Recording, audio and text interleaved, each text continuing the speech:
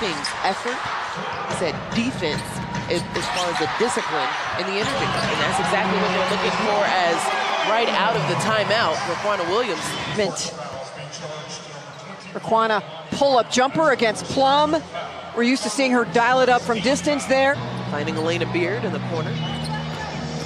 Gets the ball back, and it's like the sea parted. And she finishes for two. Defense by Brown, not to foul. Riquna Williams works the baseline, works the backboard, and gets the bucket. Play well. Inside out, explosive step. Takes on the guts of that defense.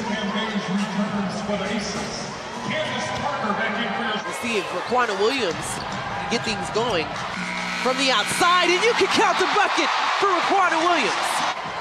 As you can see right here, the pump fake to get the 6'8 body up. That's two points. For anybody in the league, for her to do it as a rookie is pretty impressive. Exactly right. Turnover, aces. Long three by Riquna Williams, and that's going to get the crowd up, all 10,000 plus of them. To score points tonight here at Staples.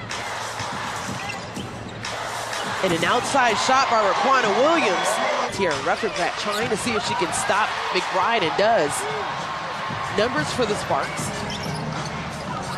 Chelsea Gray to Riquna Williams. Lightning strikes, not once, not twice, but three times for Williams. Riquna Williams parks it in the corner, lines it up, and knocks it down.